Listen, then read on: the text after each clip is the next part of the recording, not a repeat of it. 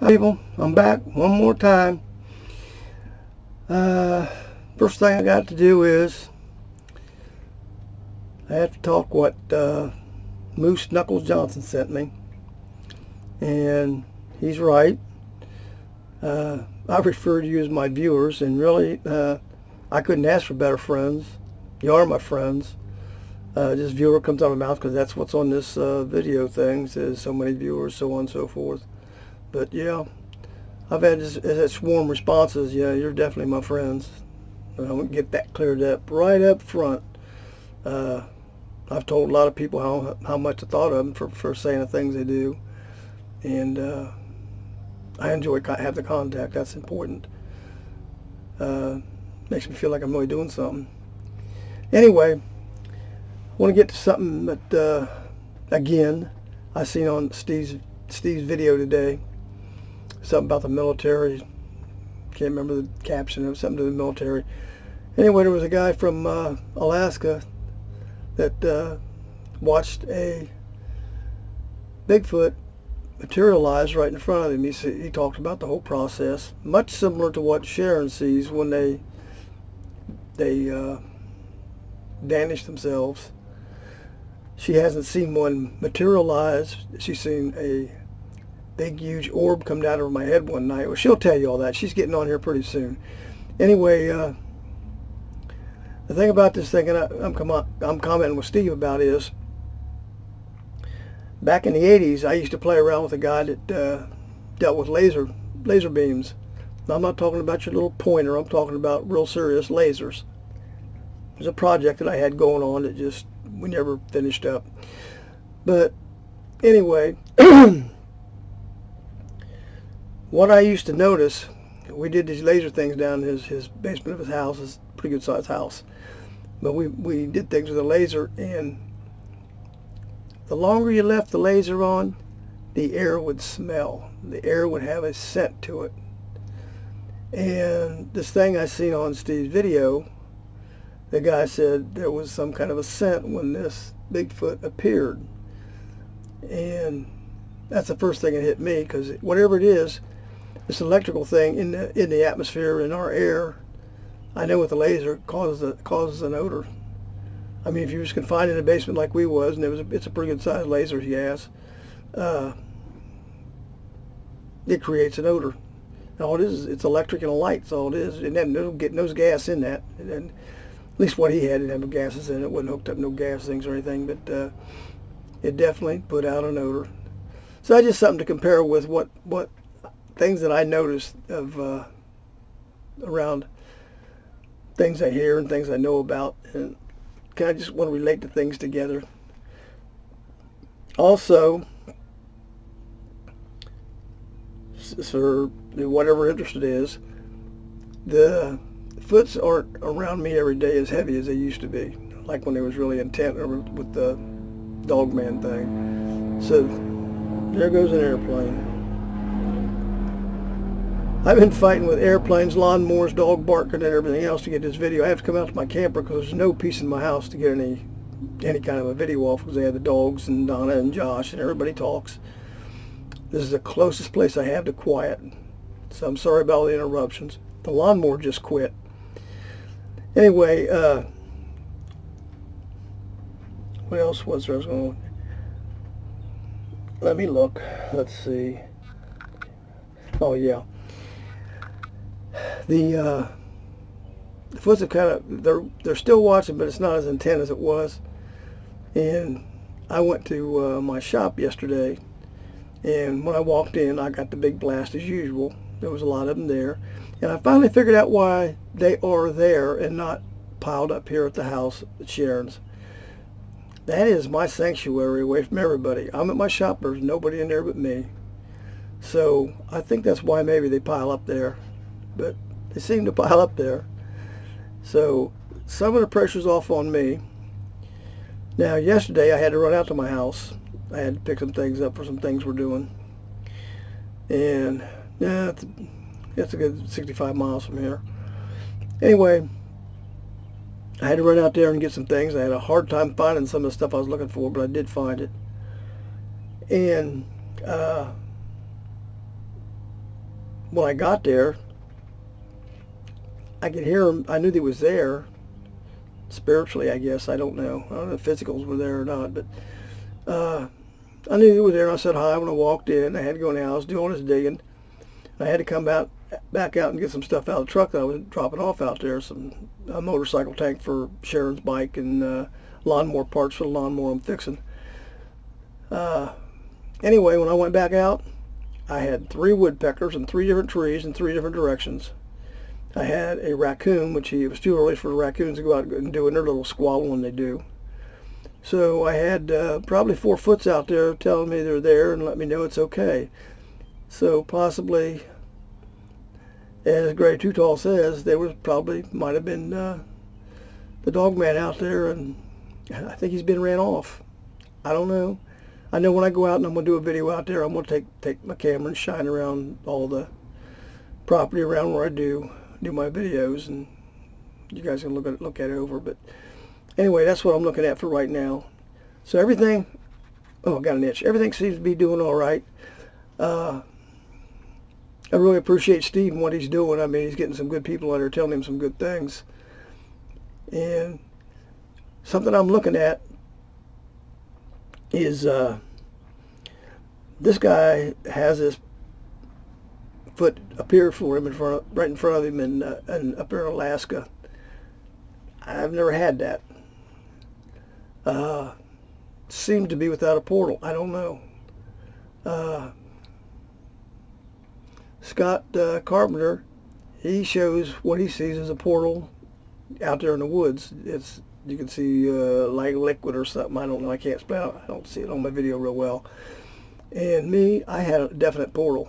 I mean, you can see the uh, on the camera. It looked like a sheet of glass at one point. It looked there was a sheet of glass up in the tree. And and when uh, the sun would come up in the mornings, I have a uh, wood splitter out there. I have a big piece of plastic laid across the front of it, keep the weather off of it. And when the sun would come up, I'd have a prism right on that white board. It's a big white plastic board. I had a white plastic board out there.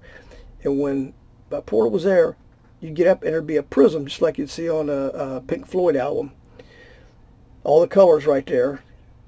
However it was coming through that portal, that glass, whatever it was, was coming through and was causing a prism right there on the on that glass. That's when we really figured out we had a definitely had a prism. But anyway, it's a little bit different than what uh, Scott Carpenter's got. And this guy got to witness one coming in and doing his little thing with the sparklers and all the stuff he talks about. The only thing I can say, what Sharon will tell you is, she has watched, I don't know how many times, two or three times she's watched the foots cross the road right in front of her. One down on uh, one of the highways, one back on our back road, one uh, back road across the back road up through our driveway. And as they were crossing the road, they faded out. She says it looks just like what you'd see on uh, something like you'd see on uh, Star Trek. They just they just fizzle away. Uh, she's seen that going down down our highway by our house, and then back here on our our road, our dirt road we live on, and uh, up our driveway. So she's seen that twice. That she she might have seen it more. I don't know. I know she's told told me about it twice, but uh, I've I haven't heard anybody really talk about that. Or in fact, on uh, I used to watch uh, Finding Bigfoot, and I ain't like I got a lot of faith in the show, but I love listening to the witnesses. That's what I like to hear, because I can tell what they're what they're saying, what's true, what ain't. There was several, I don't know how many, twice I heard of, of, of hunters that had a gun in their hand and they bared right down onto what they thought was a Bigfoot, and he disappeared right in front of her right in front of them. That's what they do. That's what they do. All they have abilities is beyond belief.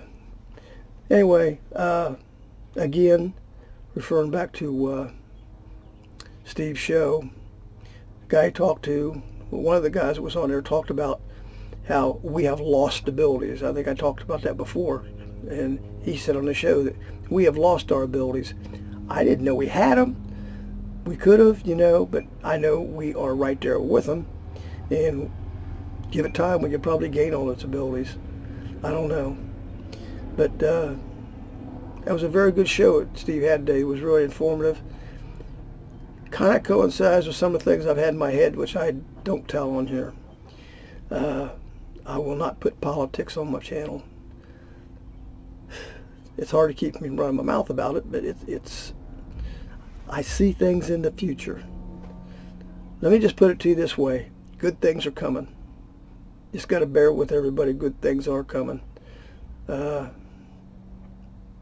I just I, I got one friend I talked to about this. He knows everything I've said and what's going to happen. He sits there with his mouth open because everything I told him was going to happen is happening right now.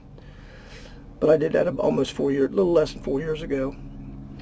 But I mean, I can sit and tell you all this crazy stuff, and well,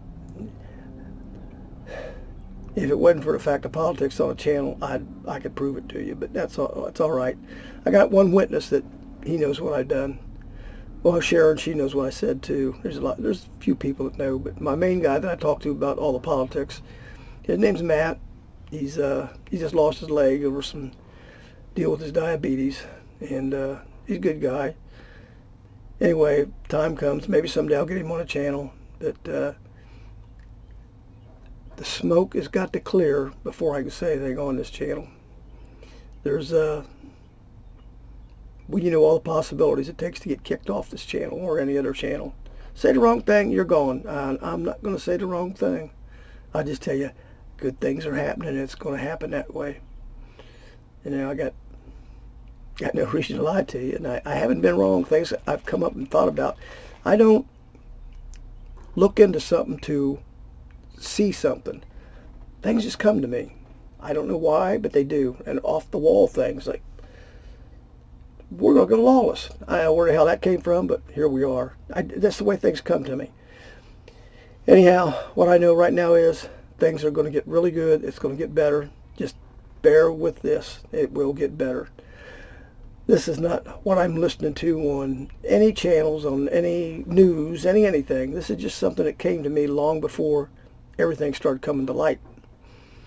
So, I don't know. I'm hoping for the best, and that's what I see coming. So maybe I can give everybody a little bit of hope. It's got any idea what I'm talking about, but yeah, everything's going to get better. Anyhow, uh, I'm still enjoying the foots. They're still around. I still enjoy them. I'm not getting anything spectacular out of them. Matter of fact, it was all there waiting on me when I got, got to my house. There was at least four of them there. So that's a good sign. Now if I can get out there and get some time out there, I can spend some more time with him out there. I might be able to get more accomplished with him. But right now I'm so busy I can't see straight. And it's not got to do with my channel or nothing like that. It's just got to do with our lives. Well, anyway, I'm getting short on time here. And uh, yes, you are all my friends. Uh, right now I can tell you I've gotten more friendship out of my comments on my uh, video that I have some of my lifelong friends, supposedly friends. Someday I'll tell you about a tattoo I was going to get one time. I was going to get a bunch of knife marks in the back, on my back. I thought about putting initials on them, but I didn't. Uh, I'm getting too old for that stuff now, so it was just a thought. But uh, those my, those from my past are out there watching this, they know I'm not lying about nothing. My past is my past, but there's still some people alive that were in my past. So, well, I'm going to have to get off here. My clock's running out. But I want you to know I love everything you're all doing, and uh, I love Steve for what he's doing, and I just hope all this is going to come out come out right. And I'll get Sharon on here as soon as possible. And I did talk to uh, Kerry Arnold, and we are going to do, do the show with him. It's going to take a while, but we'll get on there sometime in July.